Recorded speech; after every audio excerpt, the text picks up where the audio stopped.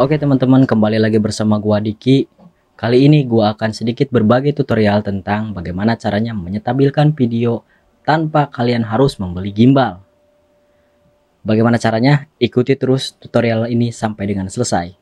Check it out. Langsung saja kalian masukkan file video yang mau kalian edit.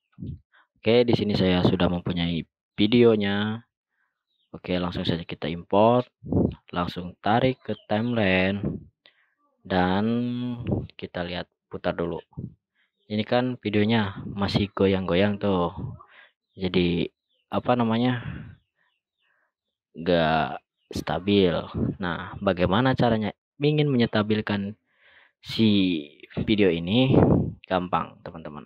Kita pergi ke efek lalu kita pergi ke video efek cari yang namanya distort oke kita scroll ke bawah cari yang namanya warp stabilizer. Langsung saja kita drag ke videonya. Lalu tunggu beberapa detik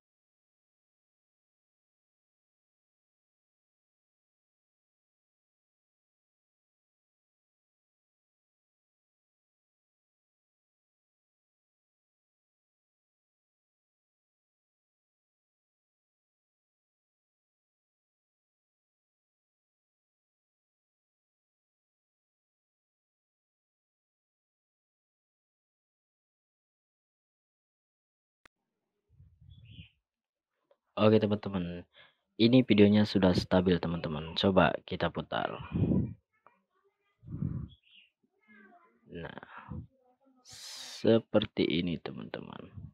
Maaf, ini harus dirender dulu kayak.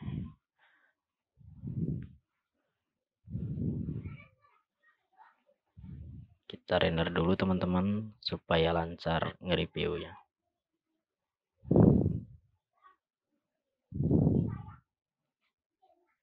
Oke.